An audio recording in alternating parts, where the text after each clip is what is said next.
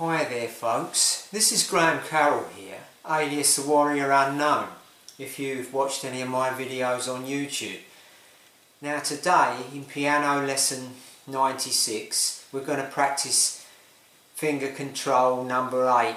So we're carrying on practicing finger control. We're using exactly the same pattern as that we used in our right hand in lesson number 95, but we're just going to reverse it, so we're going to put put the pattern in our left hand so we're going to play the, that, the rhythm sustaining the two outer notes so the root and the fifth of each triad.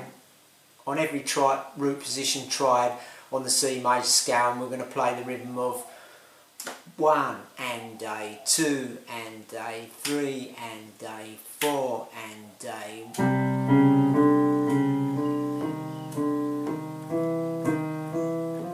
that. That's the rhythm on the way up. And on the way down, when we come down from C up here, we'll just be reversing it. So we'll be going one and A, two and A, three and A, four and A, like so. And as you noticed, on the way up, I used the middle fingers of four, three and two, and you just reverse it on the way down, two, three, four, whilst holding the outer notes of the triad and in the right hand you just sustain each root position triad for four beats of the metronome. Going up the C major scale like so. And coming back down. So it's the same shape folks. I've got the metronome set to 40 now if you have a job playing through this practice the, the left hand separately first till you get used to doing it on every position. Put it all together then bring your right hand into play so let's play through this. Got it set to 40 as always.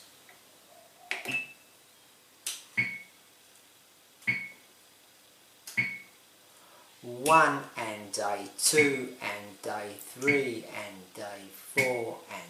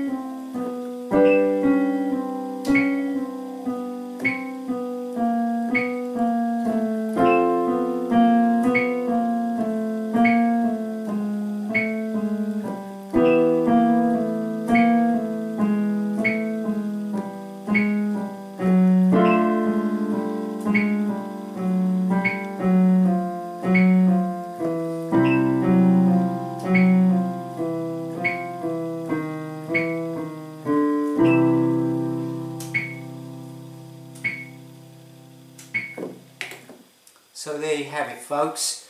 Played all the way through, harmonised the C major scale and root position triads, moved the inner voices in our left hand. Now, once you get used to doing that folks, once you get it really clean, try and transpose it into to every key on the piano, you know, all 12 keys eventually and practice it and it will really, really help your finger control. So, this is uh, Graham Carroll saying to you if you've got any comments, questions or re requests, just leave them below the video and I'll do my best to answer. And I'm saying you have a nice day and over and out and I'll see you in the next uh, piano lesson folks.